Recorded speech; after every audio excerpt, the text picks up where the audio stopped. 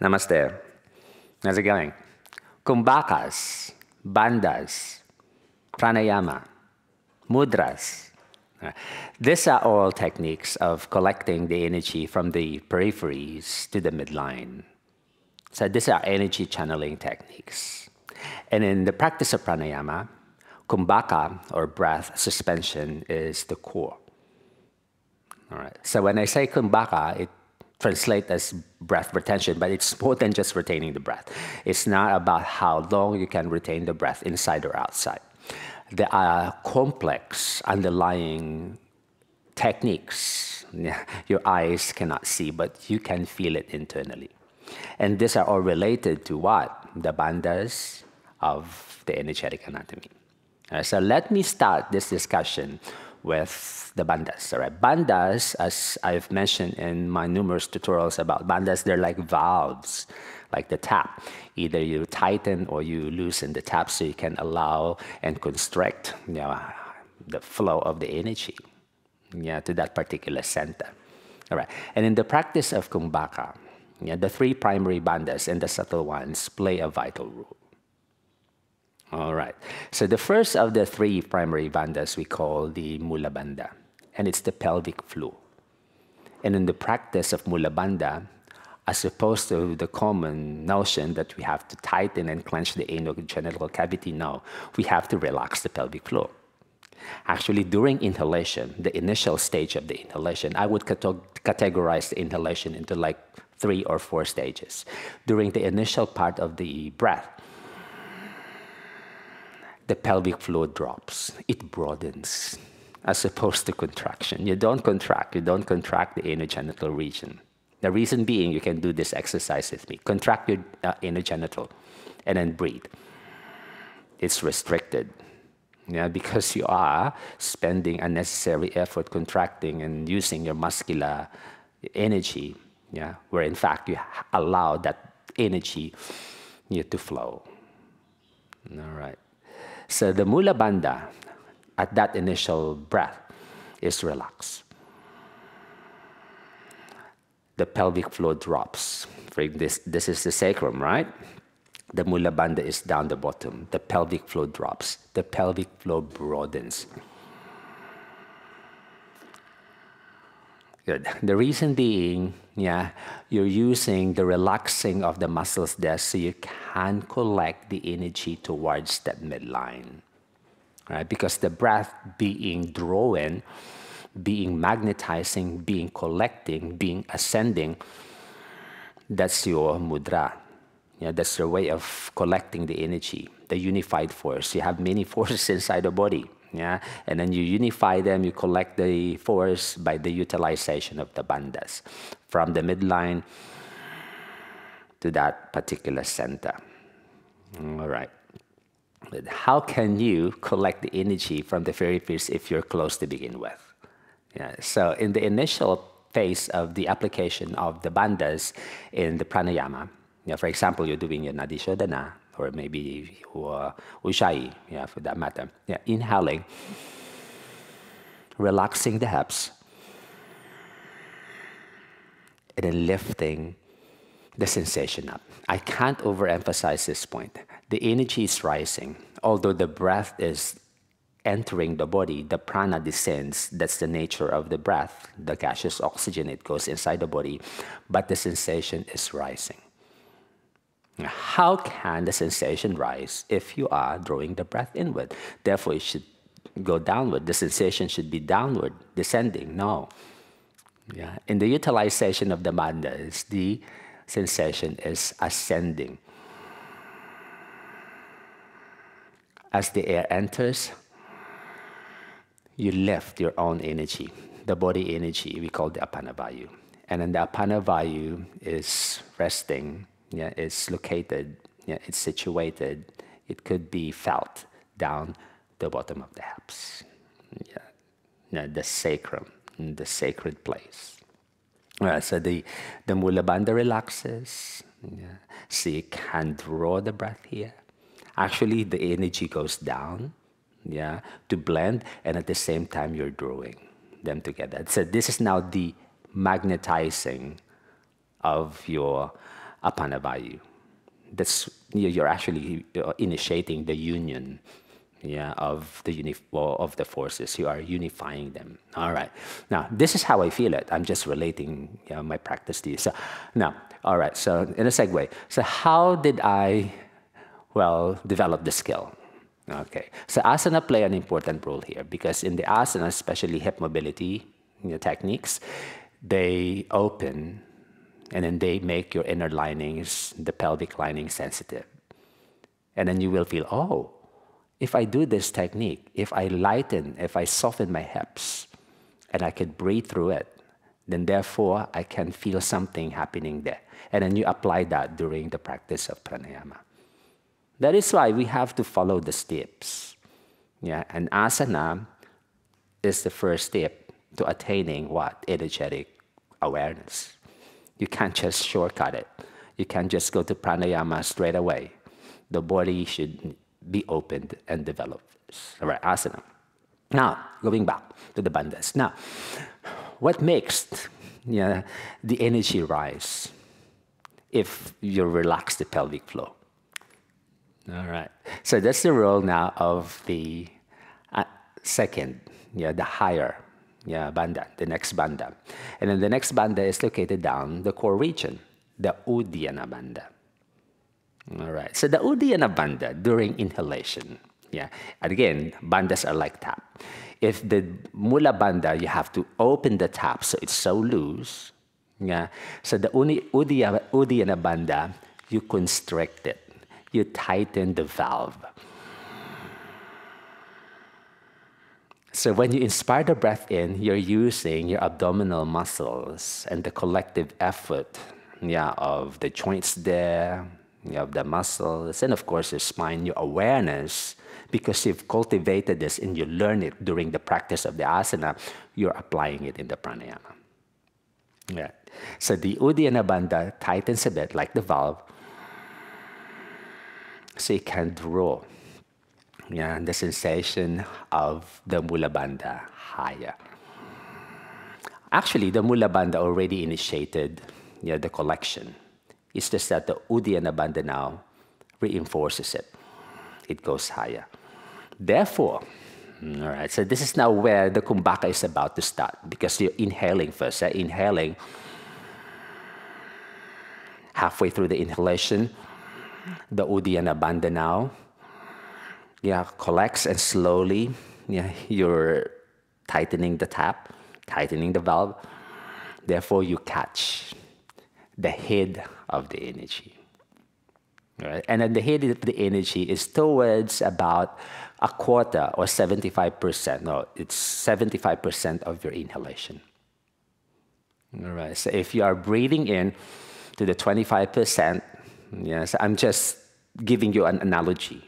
Yeah, if you are uh, analyzing the breath as a chunk or as a whole. Yeah. So the initial part of the breath, about a quarter of it, you draw using your mula bandha, and then you lift using your uddiyana bandha, and then you seal. When the breath is about to finish, about 80%, you seal. You close your uddiyana bandha. So that energy won't drop down anymore. It remains higher and confined around the chest region. Yes, yeah, that's the that's the purpose of the bandhas. They're like gears. You open the gear, the first gear, the first valve, and then you tighten the next one, and then you close the next one to prevent it from leaking and dissipating, and then you confine, and then here, yeah, the Uddiyana Bandha can only lift the energy as high as the Manipura or the, the Anahata. The Manipura, of course, the, um, navel region. Actually, the Uddiyana Bandha, as soon as you feel the energy is already inside the belly region, you close it, but you're not squeezing it. It's not clenching. I can't overemphasize. Yeah, bandha as an uh, Uddiyana Bandha as a separate conscious practice is different. I'm not uh, referring to Uddiyana Bandha like you're hollowing, like the Makwan, like you are really making your belly so flat and then thin, like there's nothing there. It's different. It's a technique. But bandha in the application of the breath is organic. All right, I have to be very clear about that. Uddiyana bandha as a bandha, as a technique, as a mudra, is different from the bandha you apply when you're breathing during pranayama. Okay, so you don't apply the clenching and the tightening and the contraction and the mock exhalation, mock inhalation in the practice of pranayama. It's a different conscious practice. Yeah, Ud bandhas in their organic sense are not about muscular exertion. They're more organic. They are the expression of your internal body being open because you've worked on those blockages already so to speak. All right, so coming back. Uddiyana Bandha closes. Now the energy is already higher up the Manipura chakra, around the chest region. Good. Now, it's not enough yeah, because we need to lift the energy, right? All right. And then this is now the role, the function of, I say, two adjacent or two uh, adjunctive bandhas. One is around here yeah, the bony part of the sternum, yeah, the ribanda, H R H R I, ribanda, and yeah, another primary bandha, the Jalandhara bandha. Jalandhara means the high, yeah, the top. Yeah. So the ribanda, what it does, because the space or the distance between the front bandha and the uh, mula bandha or the uddiyana bandha, they're quite yeah, they're quite far.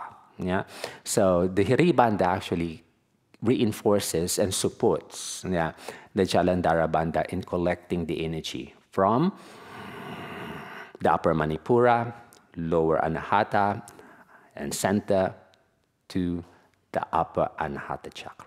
Yes, that's how I feel it. The Anahata chakra, the Manipura chakra, there are like, if not three, there are like two, two points there. And in the chest, there are like three. Below the ribs, the center of the chest, and then the upper sternum. And then the ribanda is quite distinctive. It's not Jalandhara bandha. The ribanda is like, um, how can I describe it? It's like, uh, it's like creeping. Yeah? It's like crawling. Yeah, there's like a mesh here, like there's a mesh here, and the mesh yeah, magnetizes the energy. And in the practice of the Ujjayi Pranayama, you feel it. Like this part of you becomes sensitive and light. Because the Ribanda collects and lifts the energy so it can yeah, enter the Jalandhara. Okay. Again, the Jalandhara Bandha while you're drawing the breath in, increasingly becomes active. In the initial breath, it's not. Mula, second part of the breath, Uddiyana Bandha. And then the last part of the breath, the Ribanda and the Jalandhara Bandha. Good. Again, uh, speaking of the Jalandhara Bandha, yeah, it's not about clenching and tightening. Yeah, because the Jalandhara Bandha could be done like this. I'm applying my Jalandhara Bandha, lifting up. I can feel it. Again, it's internal dynamics. It's the skill we learn and develop through the practice of the asana. Because there's no way but for the body to open as you practice your asana. Therefore, you will develop skill of gaining access to those previously latent or dormant centers. Uh, therefore, in the practice of pranayama, and this is just inhalation, right? So can you just imagine how complex this process is? Um, kumbhaka, yes, kumbhaka, hold it as long as you can. But are we doing it right? Are we doing it for the purpose, intended purpose, for our safety and for the efficacy of the practice? That's the question. Everyone can hold the breath, but are we doing it properly? All right. So internally, in the deeper sense, bandhas are not learned as a separate component. There are yeah, suggested alignment of the body, like folding of the head, lifting the spine upright. Yeah, but in the organic sense, you can apply the bandhas universally, whether you're lying down, whether you're just doing your normal task, whether you're slouching or you're driving, they can be applied because they are internal, internal techniques. They're like inside the mind. Yeah. That only you can gain access to. It's not something that you can see physically, externally. It's something you feel yeah, and know subconsciously. Yeah, because when the bandhas become active organically, spontaneously, they would have their way of breathing on their own. It's like you have another person inside of you doing the breath for you, something like that. Uh, and then you don't have to think and then do it consciously because your body, your brain will just do it for you. All right, now, how and how are this related to the kumbhaka? All right, now kumbhaka, breath of tension. All right, so kumbhaka, yeah, although you're retaining the breath, you are actually sealing, you're actually preventing the energy from leaking out. And that's the role of the bandhas. All right. So breath retention is not breath as the breath, this, the autonomic function, but breath there means the energy. Sealing the energy, retaining and suspending the energy piercing the energy through those important points of the energetic anatomy so we can magnetize the cluster of nerves because those nerves will send information to the brain uh, until such time that the inner brain opens. And that's the role of the bandha. So in the practice of kumbhaka,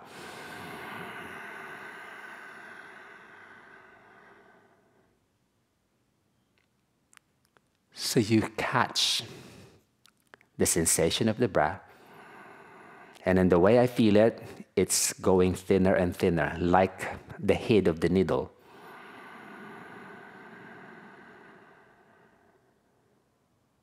And I use the tongue as well, yeah, in assisting yeah, the Jalandhara Bandha in sending the sensation of the breath to the brain. Well, that's how I do my kumbhaka.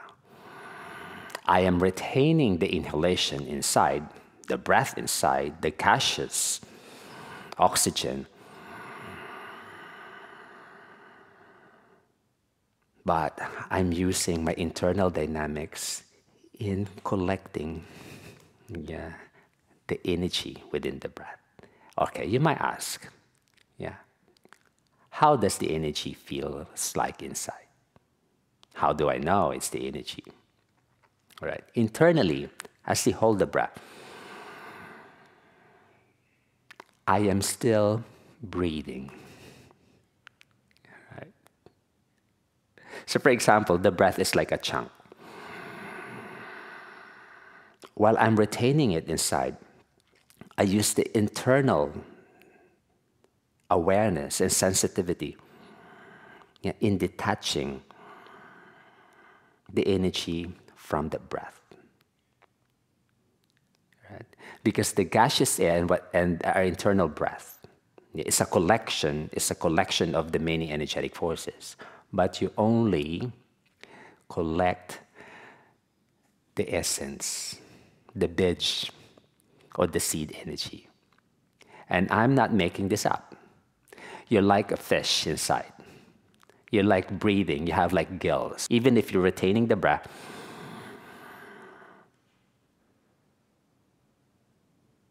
something happening inside. Like you're collecting the very essence, the pure yeah, nature. Yeah, like you are sifting, like you are filtering.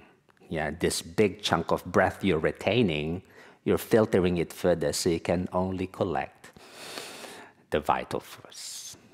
And that vital force you send inside the brain. And that's the function of the other subtle bandhas there, like the tongue, yeah, the jaw, the gums, the lips, the eyes.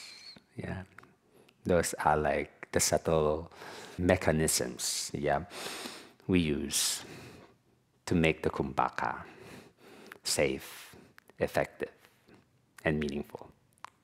Right. I know it's quite a complex um, topic to explain through words because these are all uh, sensations. These are all sensations that, you know, for a beginner, this may sound what? What are you talking about? Sifting or filtering the breath. Yes, yeah. the body is just so immense. Yeah, it's boundless. Yeah, um, the body is hollow inside it's hollow. There's nothing there. Yeah, but yeah, when when it happens, you can now go to those inner pockets, those inner points in the body. Yeah, you thought that were non-existent, but they really exist, and then you can gain access through them. Yeah. Hopefully, this one yeah clarifies and then um, yeah assist you in understanding the bandhas, the pranayama, and the kumbhakas in their organic manifestation. I'll see you in the next one. Namaste.